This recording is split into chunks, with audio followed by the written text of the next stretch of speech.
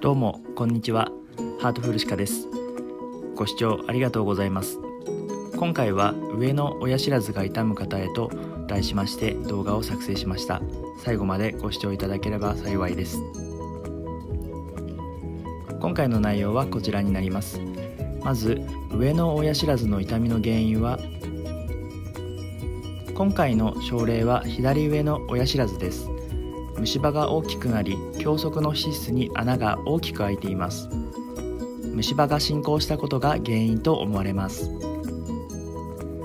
続いて症例です。30代男性左上の親知らずに穴が開き痛みを首都に来院 X 線写真から左上の親知らずの歯の神経に重なるほど黒い透過像が確認されます。この透過像が虫歯が進行して脂質が少なくなった黒い影と思われます。患者さんに今の状態をよく説明しました。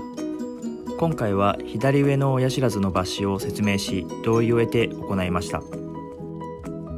抜歯後の左上の親知らずです。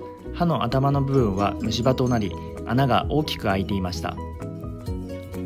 最後にまとめです。今回のように虫歯が進行して大きくならないようにしていかなければいけません。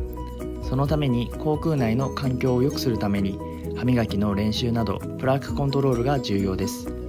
他の歯の治療もしていきたいと思います。今後ともよろしくお願いします。